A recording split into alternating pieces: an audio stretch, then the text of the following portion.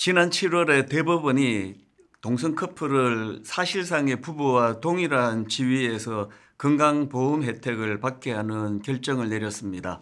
이것이 그 사실상 동성혼의 인정을 알리는 신호탄이라고 많은 분들이 우려하고 있는 현실입니다. 우리가 포괄적 차별금지법을 위시한 동성애 관련 입법을 반대하는 이유는 우리보다 앞서 이런 어, 입법화가 이루어진 나라들이 보여주는 그 다음 행보들 때문입니다. 최근에 들은 이야기인데 미국의 한 초등학교 과학 캠프에서 5학년 여자 아이들 방에 그 남자 상담가가 무려 3일 동안 방을 함께 쓰는 일이 일어났다고 합니다. 이를 알게 된 부모님들이 학교에다가 항의를 했지만 이 캘리포니아 법에 의하여 그 본인이 생각하는 성으로 숙소를 배치했다. 이런 그 뭐 알듯 말듯한 그런 답변을 했다고 합니다. 이제 어린 아이들이 그 초등학교 안에서 공식적인 행사가 진행된다 하더라도 이제 이런 것들을 막을 수 없는 이것이 미국의 현실입니다. 그런가 하면 이제 성전환 수술 없이도 남자가 여자 탈의실에 또 여자가 남자 탈의실을 또 사용할 수가 있고 스웨덴에서는 이 엄마, 아빠 이 호칭 대신에 부모 1, 부모 2라는 단어를 사용한다고 합니다. 왜 그러냐 하니까 이 엄마, 아빠라는 단어가 이 차별의 언어가 될 수 있기 때문이다. 그 설명을 들어도 이게 무슨 말인지 잘 납득이 가지 않는 일들이 지금 미국이나 캐나다나 유럽에서 일어나고 있는 것이 현실입니다. 그 동성애 관련 입법화가 이루어진 나라들에서 지금 계속 연이어 연이어 일어나고 있는 이런 일들을 보면은 이제 그 사람들의 생각에 영향을 미치는 이 가치관의 변화가 무섭게 지금 일어나고 있고 이 정도에서 중지되는 법이 없이 계속 흘러가고 있는 이것이 저를 두렵게 하고 많은 크리스찬들을 두렵게 하는 그런 요인이라 생각할 수가 있습니다. 여러분들이 지난 여름에 있었던 파리 올림픽 때 보셨지만 그 남자 염색체를 가진 복싱 선수가 어, 여성 복싱 파트로 들어가서 여성 선수와 맞붙는 일이 벌어졌는데 그 장면을 보신 분이 많으시죠. 그 상대방 여성 선수가 1회 46초 만에 기껏 패당하는 장면을 참 눈물을 흘리면서 코에 강한 통증을 견딜 수가 없어서 그 더는 뛸 수가 없어서 기권하게 됐다고 눈물 흘리는 그런 장면이 이 상식적인 선에서는 이해가 안 되는 이런 일들이 공식적으로 IOC에서 용인을 하고 또 그 남자 염색체를 가진 그 선수가 여성부에서 그 금메달을 따는 그것도 또 어, 각각 다른 나라의 두 명이나 금메달을 따는 이런 좀 희한한 일이 지금 벌어지고 있는 것이 현실입니다. 그래서 우리나라에서만큼은 이런 것들이 입법화되는 것을 정말 막아야 한다. 너무나 많은 사람들이 두려워하면서 기도하고 있는데 지난 7월에 대법원의 그 동성 커플에 대한 어 동성혼을 그 인정하는 그 이런 인정하지 않고는 내릴 수 없는 결정을 하는 것을 보면서 모두가 마음에 이렇게 한 걸음 혹은 두 걸음 어 뒤따라서 지금 미국과 유럽을 따라가고 있는 건 아닌가 그런 두려움을 갖게 된 겁니다.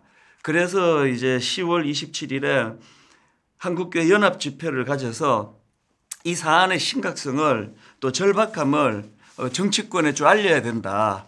그리고 또 이런 것들에 대하여 우리 모두가 이제 각성해야 된다. 이런 어, 생각을 가진 분들이 이제 중심이 돼서 연합 집회를 이제 예, 준비를 하게 됐는데 아, 제가 너무 마음이 아프고 또 두려운 것은 이것이 지금 교회 내부의 분열로 연결되고 있다는 사실입니다. 저에게 어, 이메일이나 문자로 정반대의 두 갈래의 눈물의 호소를 해오고 있는데요. 이번 서울 집회에 참여하지 않기로 한 교회들에게서 들려오는 너무나 많은 거센 항의 또 마음 아픈 분열 이것으로 시험에 빠져 있다. 교회적으로 지금 분열이 일어나고 있다. 이런 기도 부탁을 저에게 하는 그런 한 부류가 있는가 하면은 최근에 그 저희 교는 메일이나 문자 중에 이번 그 서울 집회에 참여하기로 한 교회 어, 성도님들이 너무나 실망해서 나는 이제 교회를 떠나기로 했다. 그러니까 이런 것 때문에 저에게 기도 부탁을 하는 그런 어, 메일이나 문자가 오고 있는 것이 현실입니다. 이것이 저를 참 아프게 만드는데요.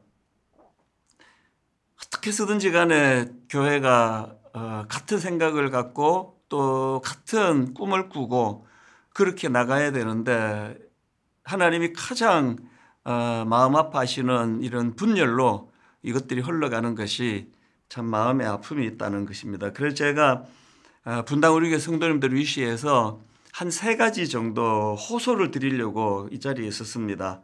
첫 번째는 이 연합 집회 그 주최 측에다가 제가 간곡히 부탁을 드리고 싶은데요. 이것이 많은 분들이 이제 우려하는 것처럼 이것이 정치적으로 흐르지 않도록 그래서 이게 어떤 이념이나 어떤 특정한 목소리를 내는 것이 아니라 정말 하나님의 뜻을 구현하는 이 마음으로 모였기 때문에 이것을 구현하는 방식도 세상과는 차별화된 그런 모습을 보여주지 않으면 안 된다는 것 이미 어, 그런 약속들을 많이 하셨고요. 또 그 약속이 지켜질 거라고 믿지만 이것이 너무나 절실한 것 같습니다. 그래서 교회가 얼마나 많이 모였나 또 얼마나 목소리가 컸나 이런 세를 과시하는 이런 장이 아니라 정말 힘없고 무기력한 우리지만 하나님 은혜를 구하며 회개하며 그렇게 기도하는 그러면서도 또 이 동성애 입법화에 대한 이 위험성을 잘 전달하는 그런 집회가 되도록 모두가 기도해 주시기를 바라고요. 무엇보다도 다음 세대 청년들이 납득이 되는 방식을 몸부림치며 애써야 된다는 사실입니다. 왜냐하면 뭐 저희들 기성세대가 아무리 뜻을 가지고 이런 일들을 펼친다 하더라도 20년, 30년 지나고 다음 세대가 이 정신을 이어받지 않으면 아무 소용이 없는 거기 때문에 참 힘들고 어려운 거 알지만 정말 우리 대다수의 청년들이 동의가 되고 납득이 되는 그리고 오히려 참 교회의 차별화에 대하여 그렇게 마음으로 감동이 되는 이런 방식은 없을까를 어, 고민해 주시기 바라고요. 이미 뭐 이런 이런 방식들을 그 고민하고 또 몸부림치고 있다고 저는 생각을 합니다. 그런가 하면 두 번째로 제가 호소를 하고자 하는 것이 뭐냐면 여러 다양한 대안들이 만들어지는 계기가 되었으면 합니다. 단순히 이 연합 그 집회가 어 이게 동의가 된다, 동의가 안 된다는 찬성한다, 반대한다 이런 걸 떠나서 이번에 이 연합 집회는 우리가 몸부림쳐야 될 여러 다양한 시도 중에 하나에 불과하고 그리고 또 여러 갈래의 대안들을 고민하는 그런 계기가 되기를 바란다는 겁니다. 이 참여 여부는 각자 판단할 것이고요. 분당 우리 교회도 광고하고 여기에 참여하기로 했다고 해서 모든 성도님들을 강제로 끌고 갈 수는 없는 거 아닙니까? 각자의 양심을 따라 또 각자의 신앙을 따라 그렇게 참여하는 것이 옳다고 생각하실 수 있고 참여하지 않는 것이 옳다고 생각하실 수 있지만 중요한 건 이걸 방치하기 어려운 거라는 거지. 뭔가는 우리가 몸부림을 쳐야 된다. 그러니까 이것들을 제가 당부해 드리고요. 그래서 이제 이런 의미에서 제가 생각하는 대안이 있다면 이제 이 입법화를, 입법화를 막기 위하여 참 눈물겨운 수고와 애씀을 통해서 그렇게 쓰시는 그런 어 분들이 계시다면 또 한 갈래에서는 우리 다음 세대 어, 신앙 교육 그리고 또 다음 세대 성경적인 가치관 교육에 더 많은 투자를 해야 한다고 생각을 합니다. 그래서 저는 이 시간 분당 우리 교회 성도님들에게 한 가지 제가 주님 이름으로 약속을 드립니다. 이제 저의 남은 임기가 우리 대학생들을 살리고 청년들을 살리고 그들에게 성경적인 가치관을 심어주고 그래서 무조건 뭐 머리 띠두르고 반대하는 이것도 필요하지만 그러나 왜 이것이 옳지 않은 건지 왜 성경적으로 뚜렷한 어떤 어, 근거를 가지고 이것을 반대하는지 그러니까 이런 것들에 대하여 어, 신앙 교육, 가치관 교육이 강화가 돼야 되기 때문에 이제 저는 대학부, 청년부를 포함한 다음 세대 가치관 교육에 힘쓸 것을 약속을 드립니다. 교육, 강의, 다양한 컨텐츠 이런 것들을 개발해서 다음 세대를 설득하고 또 납득할 수 있는 이런 모델을 만들어가고 그래서 우리 교회 다음 세대 연구소를 통해서 이런 여러 가지 다양한 어, 내용들을 또 강의를 어, 제공해야 되겠다. 그렇게 담당자들하고 지금 어, 깊이 상의하고 있습니다. 마지막 세 번째로 제가 호소하고 싶은 것은 이 일을 계기로 해서 저를 포함한 기성세대 지도자들 또 저 같은 목회자 또 수많은 크리스천들의 회개와 각성이 일어나기를 바랍니다.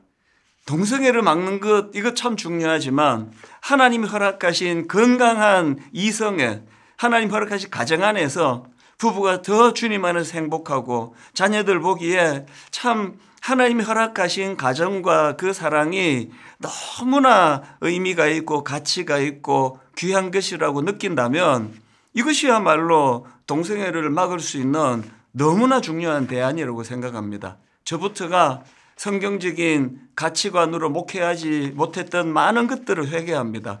이날 함께 모여서 우리 기성세대에 눈물의 회개 운동이 일어나고 우리의 잘못을 시인하고 우리가 복음의 능력이 잘 나타나지 않는 이런 방식으로 살아온 이 틈새로 지금 많은 세속과의 물결이 들어온다는 들어온다는 사실을 우리가 기억하고 인정하면서 그래서 이것이 또 다른 교회의 분열로 그렇게 나누어지는 가슴 아픈 결과가 아니라 이 모두가 다 기성세대들은 각성하고 또 비성경적으로 살아왔던 그 모든 것들에 대하여 인정하고 시인하고 또 하나님 앞에 여호와께 돌아가자 그런 운동이 일어날 뿐만 아니라 다음 세대에게는 조목조목 성경적인 가치관이 우리를 얼마나 행복하게 만드는지 성경적인 가치관대로 사는 것이 그것이 참된 어, 진리의 길이라는 것을 보여주고 가르쳐 주는 일에 마음을 다 쏟는 그런 계기가 되기를 바랍니다. 오늘 10월 27일에 뜻 있는 많은 크리스찬들이 모여서 회개하고 또 각성하고 그리고 또 입법하는 많은 분들에게 이것이 왜 어, 잘못된 것인가를 그렇게 잘 전달할 수 있는 그런 집회가 되도록 성령님께서 강하게 역사하기를 기도하고 있습니다. 아무쪼록 이 가슴 아픈 현실 속에 그리고 무엇보다 다음 세대 청년과 또 우리 청소년들이 혼란에 빠져 있는 이, 시대에 이것을 우리가 모른 척 방치하지 아니하고 어떤 방식의 대안이든지를 서로 꿈꾸면서 그렇게 모색해 나가는 그런 출발이 어, 이루어지게 되기를 간절히 바라고 기도합니다. 기도해 주신 많은 성도님들께 진심으로 감사드립니다.